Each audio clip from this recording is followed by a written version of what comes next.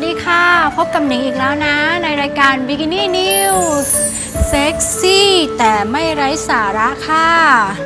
วันนี้นะคะ Bikini News ก็จะพาท่านผู้ชมไปพบกับอีกหนึ่งวิวัฒนาการของพลังงานทางเลือกในวงการยานยนต์นะคะ กับ Homer Black Label Bacon ค่ะ ใช่แล้วฟังไม่ผิดหรอก แปลกใจกันใช่ไหมล่ะ มันก็คือพลังงานที่ได้จากเบคอนจริง ๆ นะคะซึ่งมันก็คือมอเตอร์ไซค์สปอร์ตวินเทจ คันเดียวหนึ่งเดียวในโลกที่ขับเคลื่อนไปด้วยไบโอดีเซลจากเบคอนค่ะ จะเป็นยังไงนั้นไปชมหน้าตาของมันกันเลยเบคอนนอกจากจะเป็นอาหารโปรดของใครหลาย ๆ คนแล้ว ในตอนนี้มันยังเป็นมากกว่านั้น เพราะสามารถนำไปใช้เป็นเชื้อเพลิงให้กับมอเตอร์ไซค์ดีไซน์สปอร์ตสุดคลาสสิกอย่าง Hormel Black Label Bacon ได้อีกด้วย มอเตอร์ไซค์รุ่นดังกล่าวได้รับการสนับสนุนจาก Hommel ผู้ผลิตเบคอนในสหรัฐอเมริกา ในโครงการ Driven by Bacon เพื่อส่งเสริมการใช้ทรัพยากรอย่างคุ้มค่า โดยเจ้า Hommel Black Label Bacon มอเตอร์ไซค์รุ่นดังกล่าวได้รับการสนับสนุนจาก Hommel ผู้ผลิตเบคอนในสหรัฐอเมริกา ในโครงการ Driven by Bacon เพื่อส่งเสริมการใช้ทรัพยากรอย่างคุ้มค่า โดยเจ้า Hormel Black Label Bacon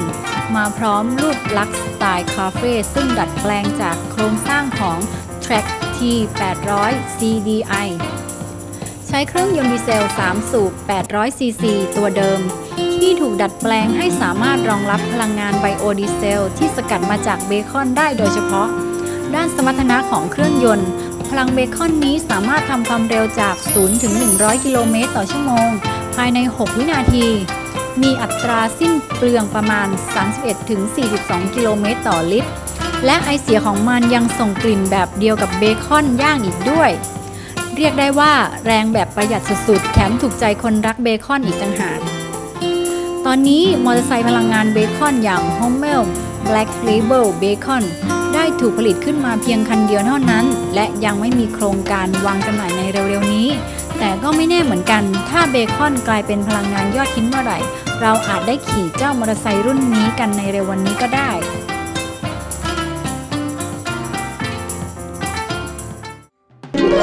และนี่ก็เป็นอีกหนึ่งนวัตกรรมที่น่าสนใจนะคะสำหรับมอเตอร์ไซค์พลังงานเบคอนคันนี้ค่ะ เพราะว่าถือเป็นการส่งเสริมการใช้ทรัพยากรอย่างคุ้มค่าค่ะ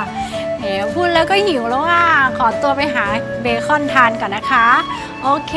สำหรับวันนี้ก็หมดเวลาของหนิงแล้ว ก็ต้องขอขอบคุณชุดบิกินี่สีสันสดใส